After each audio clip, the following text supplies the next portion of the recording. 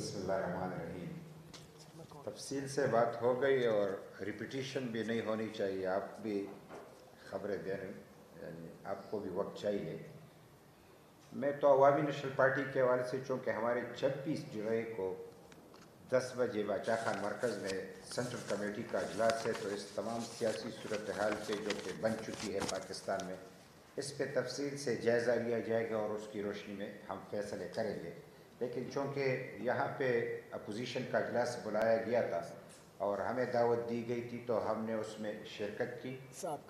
और हम है ही एक यानी अपोजिशन एक ही अपोजिशन है जो पंजाब में नतज आए अगर ये गुज्त हुकूमतों की तरह होते तो ये नतज ऐसे नहीं आते। ये जमहूरी लोग हैं जमहूरी फ़िज़ा फराहम की, रोने वाला आज भी रो रहा है। उसकी आदत है, वो रोता रहेगा। लेकिन अगर शफाफ इलेक्शन ना होते और हम शफाफ इलेक्शन पे ज़ोर न देते तो आज वो जो कुछ कह रहे हम इस पे भी सोचेंगे कि इसके हवाले से भी, यानी मज़ीद तहकीकात होनी चाहिए। लेकिन जो नतीजा भी आया, आपके सामने है कि अब मैं तमाम साहिबान से ये गुजारिश करूँगा कि खुदा रहा इसको तो ये ज़रूर कहे कि एक इमरान ने एक बात कर दी, बीस है और इनकी है और हम लेके उड़ेंगे। बाबा, बीस तुम्हारे थे, तुमसे भाग गए थे। ये उस दौर की बातें जब मुस्लिम लीग उरूज पे थी और उस वक्त भी ये सीटें वो न जीत सके। आज भी उन्होंने उसमें पाँच जीते हैं। तो बात इतनी सी है कि उसने कोई तीर नहीं मारा। लेकिन हमें सोचना ज़रूर है। अगर ये नतीजा ना आता तो शायद हम ये कहते कि हमारी तमाम पॉलिसियाँ ठीक है। तो ये ज़रूरी है कि हम आज इस पर गौर करें कि ये सूरत हाल क्यों बनी और एक बंदा जो कि खुद, यानी लॉन्ग मार्च के हवाले से, जो कि डरने का अपने आप को माहिर समझता था, लॉन्ग मार्च से कैसे वो गायब हुआ? किस तरीके से अपने लोगों को अकेला छोड़ दिया? और उसके हवाले से भी बहुत सारी बातें हैं, लेकिन मैं उस पर भी बात करना नहीं चाहता। हम पार्लियामेंट की सुपरमेसी की बात करेंगे। ये जब पार्लियामेंट में था तो तब भी हमने कहा था, इसको इतनी भी हिम्मत नहीं थी कि वो पार्लियामेंट में आए। अक्सर गैब रहता था। कभी अजलास में नहीं आता था। उसको अहमियत ही नहीं देता था।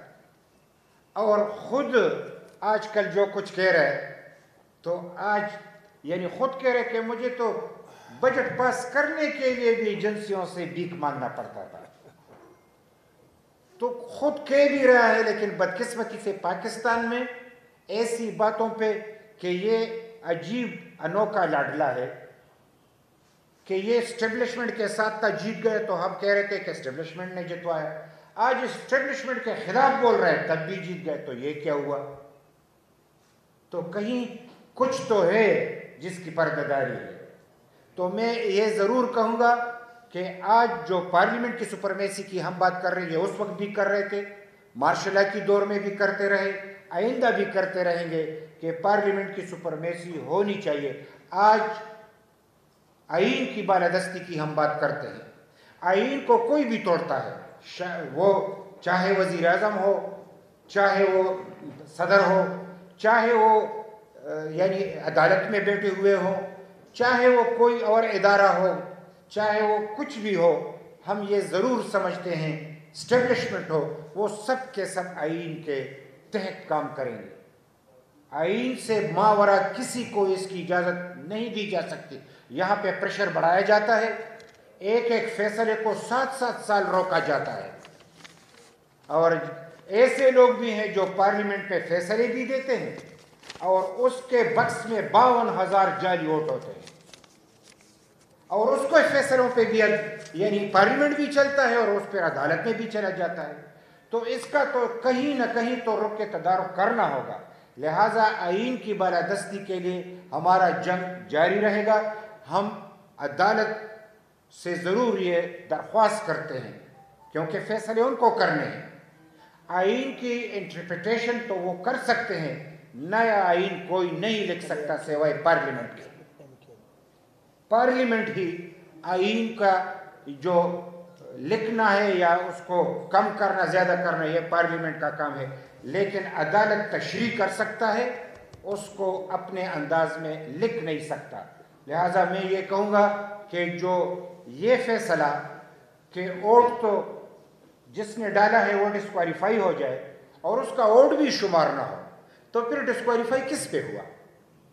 वोट डाला तो डिस्क्वालीफाई हुआ। ना तो वोट शुमार नहीं हुआ तो किस पे डिस्क्वालीफाई हुआ? ये वो है कि ये आइन से मुतसादिम है।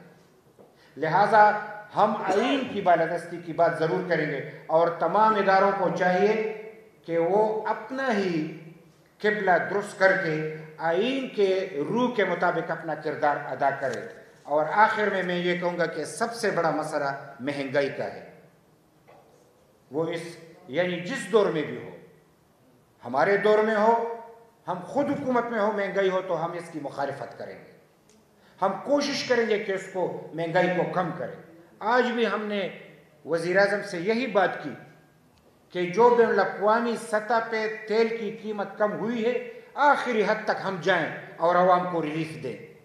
यानी इसमें, यानी इस तरीके से हम चांट फांट न करें कि आवाम को वो रिलीफ न मिले।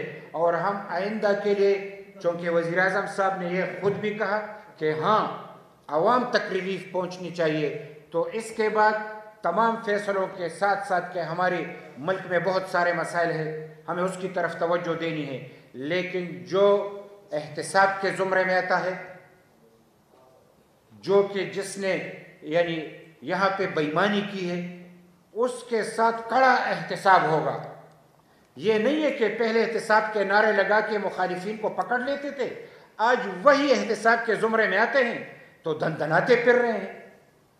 यानी उनको पकड़ के याद दिलाना चाहिए कि तुमने जो बेईमानी की है, इसकी इजाज़त नहीं दी जा सकती। मैं खुल के ये बात इसलिए कह रहा हूँ कि अब तो टीवी पे भी आता है। कि फ़लाने किया फ़लाने किया फ़लाने किया। तो नाम लिए बगैर उन तमाम लोगों को कैफ़े किरदार तक पहुँचाना चाहिए, चाहे वो कितना ही बड़ा क्यों ना हो। और यही एहतसाब का कि उसमें ज़ातियात ना हो, उसमें अपने मुखालफी की बात ना हो। मुल्क की खातिर, मुल्क के मुस्तबिल की खातिर बड़ी ईमानदारी से एहतसाब करके जिसने बेईमानी की है, कौम का पैसा लेके आवाम को दिया जाए। और बैन अवी और मुल्क सतह पर रिलीफ के लिए हमारे, हम वज़ी अजम साहब भी और पार्टियों के तमाम कायदीन को हमने रिक्वेस्ट की और आपके ज़रिए भी कर रहे हैं कि वो अपने असर रसूख को इस्तेमाल करके बैन अवी सतह पर जो महँगाई हमारे गले पड़ी है, उसको कम करने के लिए